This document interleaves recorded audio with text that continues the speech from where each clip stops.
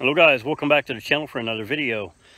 I wanted to do a little 15 month follow-up review on the PYS mosquito net for hammock because for the longest time they were out of stock and Amazon had them listed as being out of stock, sold out, and they did not know if or when they were going to get any more back in stock. So I haven't really done a follow-up review on the item because it was no longer available.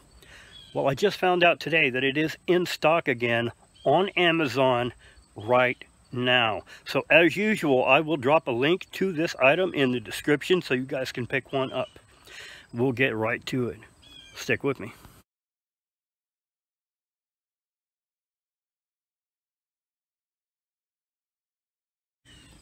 Okay, as you can see, I've got my hammock hang here. I've got my PYS Outdoors mosquito net that goes right over your hammock. And this thing, especially this summer, has been a godsend.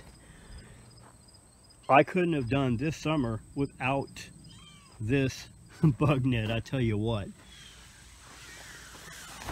As you can see, I've got a second ridge line ran here and it literally just sleeves directly over the hammock. You thread the hammock through this end, all the way through and out that end. And it has drawstrings that cinches it down. It has a nice door right in the center with a zipper to zip it down. And it is completely enclosed. It goes all the way around the hammock, top, bottom, and once you cinch those straps down, even the ends. And what I like about the way these cinch down is on these hammock straps to help save the trees. With that cinched down just on the other side of this loop, that loop holds this up and basically keeps the net stretched.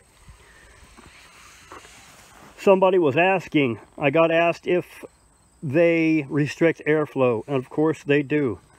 I've had a night or two in this thing where it was nice and cool, breezy out here, but this no-see-um mesh fabric is just, blocks just enough air that it can get kind of stuffy and kind of warm inside the mesh. But, you know, it's the lesser of two evils.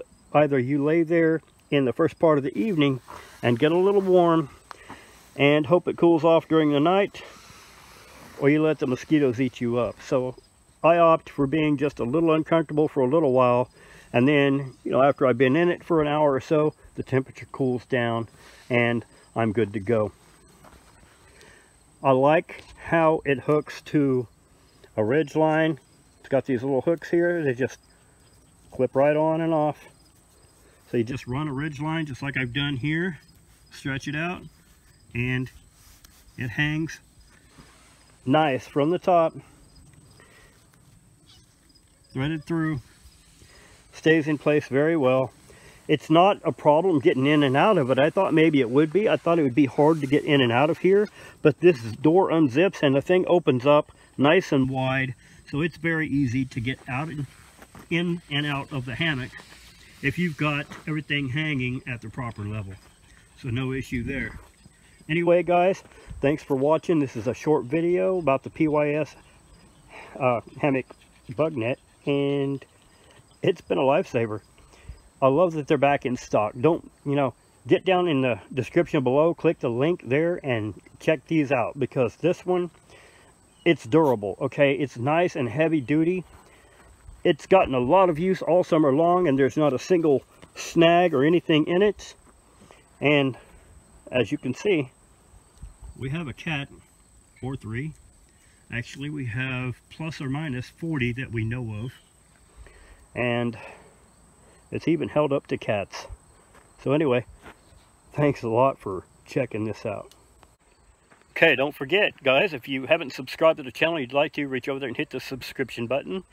If you do, you can choose to select all notifications, dinging that notification bell down there in the corner. Get notified when I upload future videos. Questions, comments, hey, hit me up, drop them down below, and I will see you guys on the next one. Have a good night.